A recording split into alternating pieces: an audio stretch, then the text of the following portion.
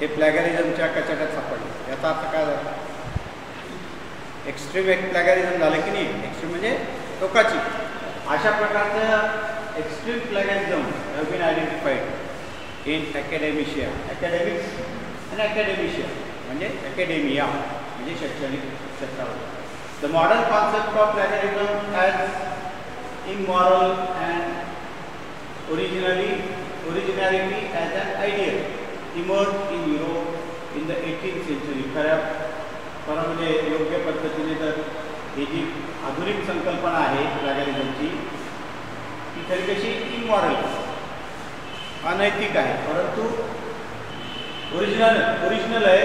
तिची कॉन्सेप्ट युरोपमध्ये अठराव्या शतकात निर्माण झाली.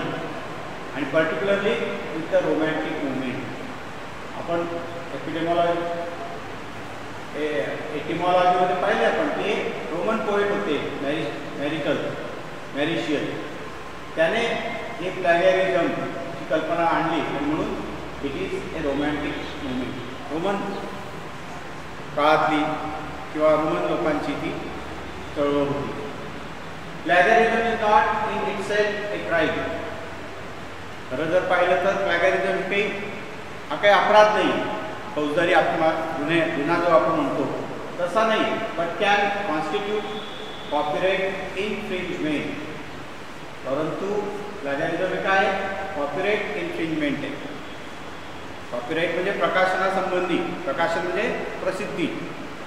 जे काही साहित्य आपण प्रकाशित करतो त्या प्रत्येक प्रकाशित साहित्याका साहित्याला कॉपीराईट असतं.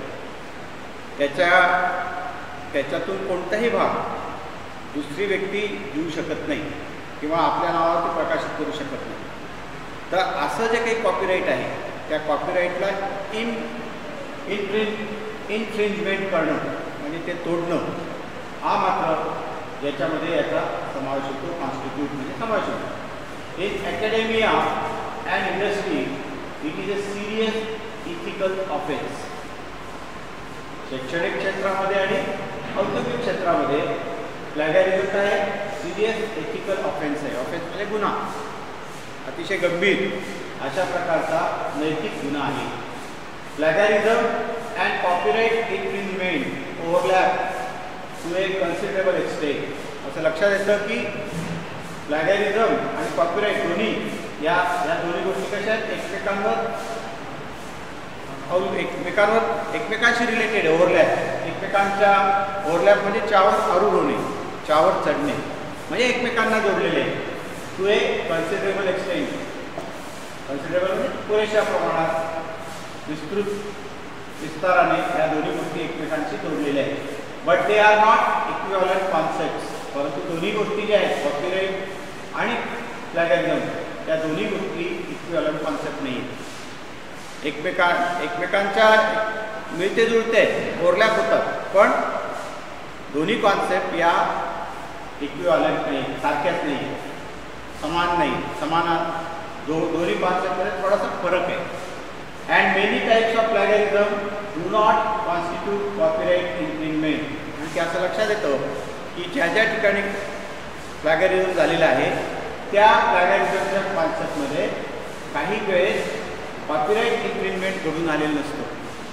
याचं कारण असं आहे की कॉपीराईट म्हणजे काय की ज्या जे प्रसिद्ध साहित्य आहे जे प्रसिद्ध साहित्य आहे त्याला कॉपीराईट असतं. पण समजा आता थेसिस आहे प्रबंध आहे ते प्रबंध काही सगळे प्रबंध प्र प्रकाशित झाले नसतात. आणि त्याच्यामुळे एखाद्या प्रबंधातलं मॅटर आपण घेतलं तर ते कॉपीराईट इन्फ्रिंजमेंट नाही होत.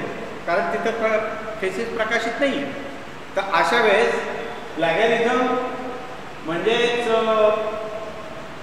कॉपीराइट इन्फ्रिंजमेंट आहे असं होत नाही. Which is defined by copyright law या दोन्ही गोष्टी सारख्या नाहीत. आणि प्लॅगॅरिझममध्ये कॉपीराइट इन्फ्रिंजमेंट असतंच असं नाही. दोन्ही संकल्पना सारख्या नाहीत. काही वेळेस प्लॅगॅरिझममध्ये कॉपीराईट इन्फ्रिंजमेंट असतं परंतु प्रत्येक वेळेस कॉपीराईट इन्फ्रिंजमेंट असेलच प्लॅगॅरिझममध्ये असं नाही. आणि म्हणून ही जी गोष्ट आहे ही कॉपीराईट लॉमध्ये डिफाईन केलेली आहे निश्चित केली गेलेली सांगितलेली आहे. And may be adjudicated by courts आणि कोर्टाने त्याला ॲडज्युडिकेट केलेलं आहे त्याला मान्यता दिलेली आहे. आणि plagiarism is not define or punish by law plagiarism जर केलं आपण कोणाची माहिती आपल्या याच्यामध्ये वापरली स्वतःच्या नावावर तर त्याच्याने कोर्टाद्वारे किंवा न्याय कायद्याद्वारे त्याला पनिशमेंट मिळू. बट रादर बाय इन्स्टिट्यूशन परंतु संस्था मात्र त्याला पनिश करतात. कोणत्या संस्था आहेत? प्रोफेशनल असोसिएशन्स वेगवेगळ्या प्रकारच्या प्रोफेशनल सं व्यावसायिक व्यवस असतात. उदाहरण चार्टर्ड अकाउंट चार्टर्ड अकाउंटंटच्या संस्था आहेत. डॉक्टरांच्या संस्था आहेत. शिक्षकांच्या संस्था आहेत.